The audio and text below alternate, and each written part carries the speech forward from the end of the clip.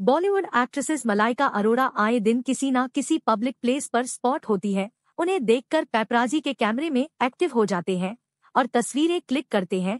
इसके बाद मलाइका अरोड़ा की तस्वीरें सोशल मीडिया पर वायरल हो जाती हैं। मलाइका अरोड़ा हाल ही में एक बार नज़र आई हैं। दरअसल वह अपने माँ के घर पहुँची थी। मलाइका अरोड़ा के अलावा उनकी अमृता अरोड़ा भी माँ के घर पहुँची थी और उनकी तस्वीरें भी सामने आई हैं। यहाँ पर दोनों बहनों की लेटेस्ट तस्वीरें मलाइका अरोड़ा की नई तस्वीरें सोशल मीडिया पर सामने आई हैं।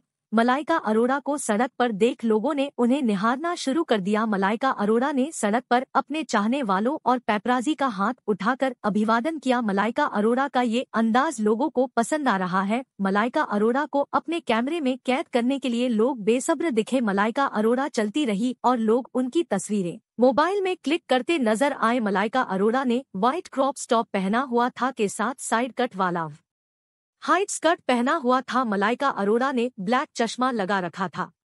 मलाइका अरोड़ा जिधर से भी निकल रही थी, उधर लोगों की निगाहें उन पर टिक जा रही थी। मलाइका अरोड़ा की अदाओं को लोग बारीकी से देख रहे थे। मलाइका अरोड़ा की नई तस्वीरें सोशल मीडिया पर जमकर वायरल हो रही हैं। मलाइका अरोड़ा की तस्वीरों को लोग पसंद कर रहे हैं और कमेंट कर रहे हैं। मलाइका अरोड़ा अक्सर इसी तरह नज़र आती है और चर्चा का विषय बन जाती है। मलाइका अरोड़ा अधिकतर जिम और योग क्लास जाते समय स्पॉट होती है। मलाइका अरोड़ा मुंबई के बांद्रा इलाके में अपनी माँ के घर के बाहर नज़र आई थी, इसके बाद मलाइका अरोड़ा कार में बैठकर रवाना हो गई।